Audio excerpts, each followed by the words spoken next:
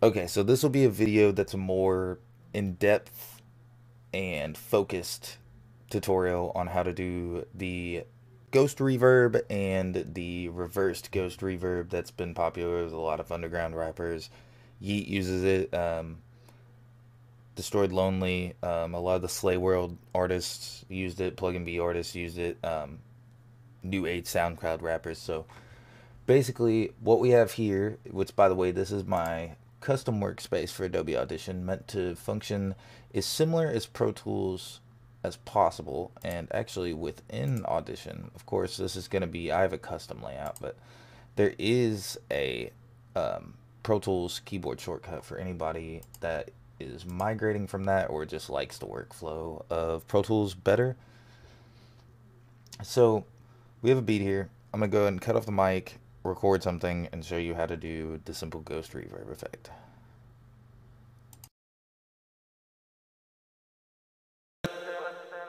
Okay, so we're in the DAW. Due to recording, the latency is too much to have the monitoring on, but I'll just record some beat.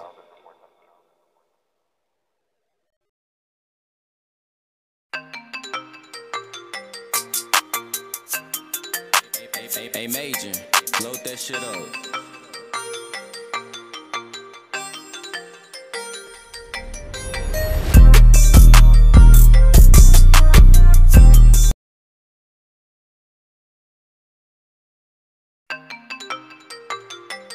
This is a test track to do the ghost reverb with a long decay.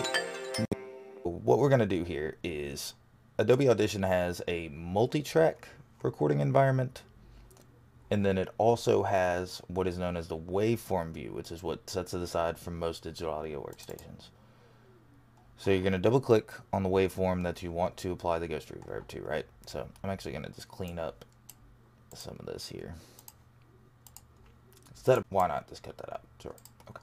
So, also increase the volume here a little bit. So we got our, our, our, our dry, unprocessed vocal in the waveform view. This is a test track to do the ghost reverb with a long decay. We first go to the effects panel and we're going to re reverse the entire track or you could just take a selection, whatever you want to. I'll actually show it just for a selection or actually let's show, show a technique of like just bringing in just the first word on the go. So we'll just grab from about here out, right? So we'll take that, reverse that, go to effects again, go to reverb, go to full reverb. These are my current settings I'm using. I'm using a a higher decay rate. I'm actually going to increase this to just up, up a little bit more. I'm not sure exactly how that's done. You can copy these settings or just choose a preset that has um, a long decay or just choose a preset and set and pull the, the, the decay time out and apply this reverb. So this is doing a destructive effect, but again, this is a, a quick and easier, quick and dirty way to get this accomplished. I'll show a, a live effects way as well. So we're to go ahead and apply that. Got the reverb. You see the tail. That's how we effectively put the ghost into it. So, okay, so I shouldn't have actually done the deselected it, but we're just going to do that again, right? So have that applied. So then you would reverse the selection again, line it back up. So now when you play it, you get this. This is a test track that kind of leading the poltergeisty, like he do. Now, of course, nothing's perfect, so it looks like there's a little bit of a click at the beginning there. But yeah, for the most part, this effect has been very. Yeat uses a lot. This is like a test a track to do. So you have that option. Now the effect also works almost in a different manner when applying it to the full um, waveform. So we're going to go ahead and reverse the whole waveform. Reverb, full reverb, something with high decay. Apply it. Reverse the clip again. So this has that applied to the full clip, which would give you this. This is a test track to do the ghost reverb with a long decay. When you reverse it, it comes in like shake. Now, also, while you're in the destructive view, you could go into here, what's known as convolution reverb.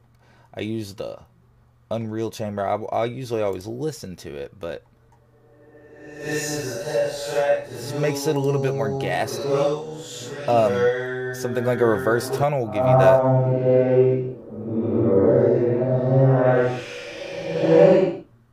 For doing like an ad lib or something. So let me show you what you can do in in in that form. So I'm gonna take that there.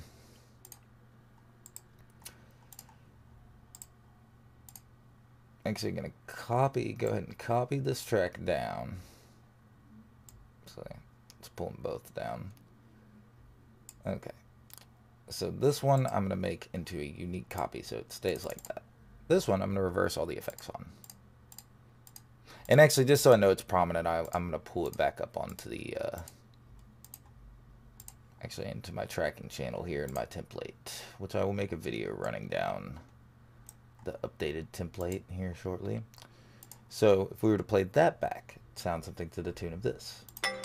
This is a test track to do the ghost reverb with a long decay. When you reverse it, it comes in like you see?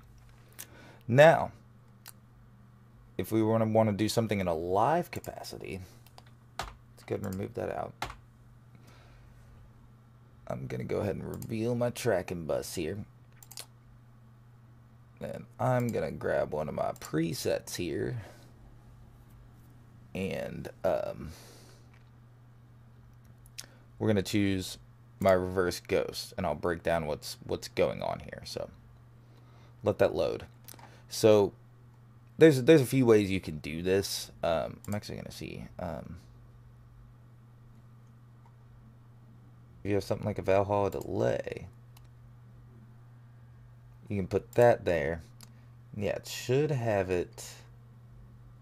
Yeah, like reversed grains. Any of the the the reversed presets will kind of give you that effect.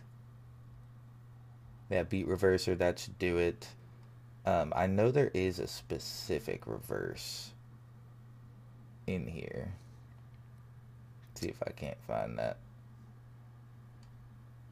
Yeah, okay, reverse. So there's a bunch in here. So let's just go ahead and cut that off.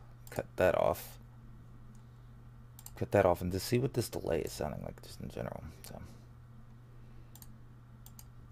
Yep. Yeah. So Valhalla delay will help you do it. Now, what I had set before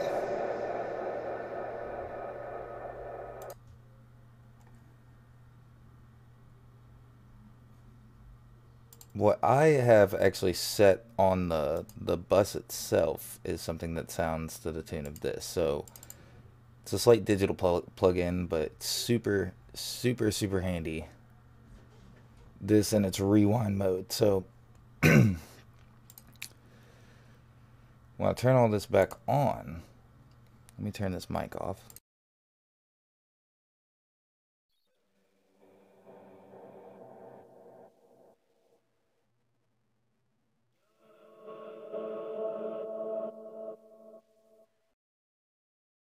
And as you can hear, just simple, simple talking. I'm actually going to leave this mic on and monitor it again so you can really get an idea. So it's like, yo!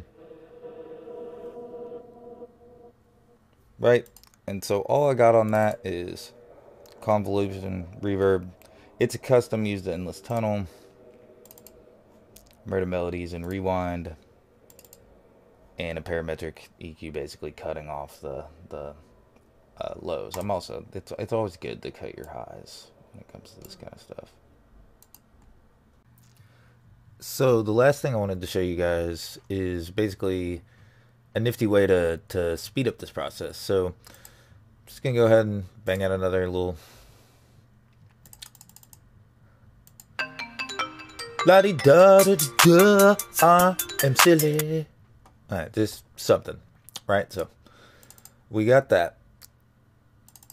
So then from there, once you're in just a waveform view, you could go into favorites, start recording favorite, right? Okay. And so if, to do it for the whole track, I would just, what I would do is deselect the whole waveform and put the playhead at the front. Reverse it. And that full reverb. Right. I'm even going to say crank that up a little bit. Wouldn't be bad to have in it. Reverse. Stop recording favorite. And then AA Ghostly. I'm just gonna call that because I already have essentially this the same previews I've made, but AA Ghostly. That works for me.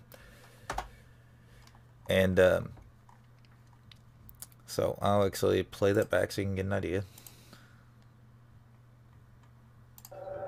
La da da da. I am silly.